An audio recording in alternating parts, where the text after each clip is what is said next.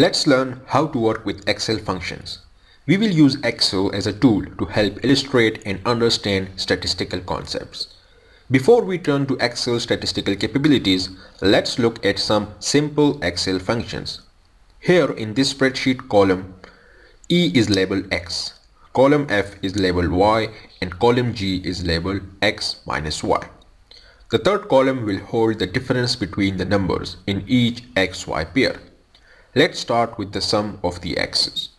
Click in cell E13 and here is where we will insert the sum of all the x numbers. We can do this in a couple of ways. Here is the first way. Click on the formulas tab and then on the math and trig icon scroll down until you find the function sum and that opens the sum dialog box. In the numbers box, Excel has guessed the numbers to add. Now we have to correct because we want to add numbers in cell E2 through E11. After those numbers in the number 1 box, click OK. And there is the sum in cell E13. The formula bar shows equals sum and in parentheses the numbers we added. Sum is the function and the cell numbers in parentheses are called arguments. Now argument does not mean confrontation or debate. It's what mathematicians call the things that functions operate on. Delete the answer. And here is another way. When you become proficient in Excel, you can type the function in directly right into the cell without using the dialog box. So with cell E13 selected, type equals sum left parenthesis and then the numbers in E2 through E11 close parenthesis and enter. And you see the formula appeared the same way in the dialog box.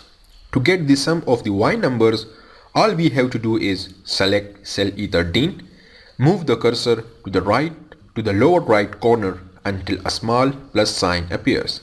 That is called a fill handle. Hold down the left mouse button and drag into cell F13. If you click on F13, you will see the formula appear in the formula bar. Statisticians often have to square each number in a set of numbers and add them up. Excel has a function for this. Select cell E14 and on Math and Trig menu find SUMSQ, sum of squares. In the number box, select cell E2 through E11. Click on OK and there is the sum of squares for E in cell E14. As before, break the answer into cell F14 and you see the formula in the formula bar. Another thing statisticians sometimes have to do is find the sum of products of columns of numbers, meaning the find the product of each xy pair and add all the products together. Excel has a function for this too. Select cell F15 for the answer and select sum product from the math and trig drop down menu. With the array 1 box active, select cell E2 through E11 and with the array 2 box active, select cells F2 through F11. Click OK and there is the sum of the XY products in cell F15. In our third column, we will put each X minus Y. The simplest way to do this is to select cell G2. Type equals, then click cell E2. Type minus sign F2 and enter.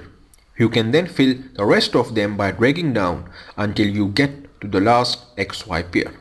Delete all the, the values except the first one and I will show you a cooler Excel way to fill them in. After calculating the first one, you select its cell, move to the lower right corner of the cell until you get the fill handle and double click. All the numbers fill in. This is called autofilling the cells and only works vertically, not horizontally, and only works when the column that you are autofilling is right next to the columns it's operating on. Delete all the values and learn one more way. Select cell G2 through G11. The array with the differences will appear. Then type equals and then select cells E2 through E11. Type the minus sign and then select cells F2 through F11. Finally, and this is important, press these three keys together on your keyboard. Control, Shift and Enter. The answers appear in cell G2 through G11. This is called an array function and in the formula bar notice the curly brackets around the formula. They signify array function. I went through this method because Excel has a number of helpful built-in array functions and it's a good idea to learn how to use them.